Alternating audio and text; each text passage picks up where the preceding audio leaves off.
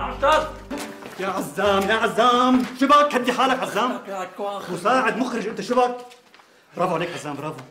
ال location عجبني كثير أنا هذا ال location اللي حاطه ببالي أصلا من أول ما قرأت النص. عشان تعرف عفوا عفوا. يعني أنتوا أنتوا جايين لعنا لهون مشان يعني هيك تصوروا شيء للتلفزيون؟ أخ طبعا مدام.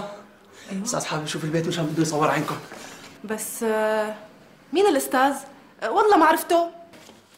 عفوا.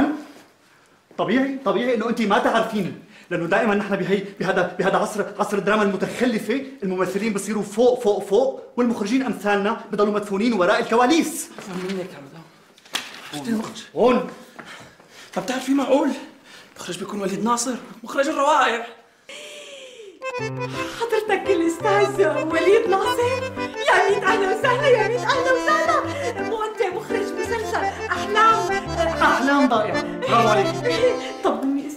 لقيت وجهي يا مدام الله يخليكي لقينا مين المسلسل اسمه أحلام ضائعة. ما في ولا شخصية عندي بالعمل اسمها أحلام. عزام حكي لي.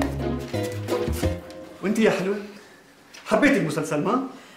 بصراحة يا أستاذ آه، المسلسل كله لعي وحكي فاضي. آه، ما بيشبهنا بلون يعني حسيته من كوكب تاني. يا عزام حسيت العمل من كوكب ثاني أنا لي سنه عم بحضر لهذا العمل بتقلي العمل من كوكب ثاني ولاعي بلا طعمة.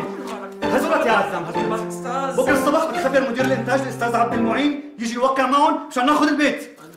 أنت اللي بتخبره أنا اللي خبره. أنت المساعد يا عزام. أنت مساعد. امرك امرك يا زلمه شو بها؟ عصب.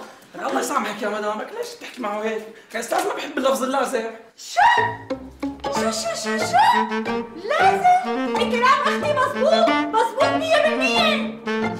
مدام مثل ما اتفقنا بكرة جاي نصور الصبح. مدير الإنتاج بيكون عندك اليوم عشان نتفق مع حضرتك ماديا. والله؟ إيه إيه إيه شو علي؟ شو علي؟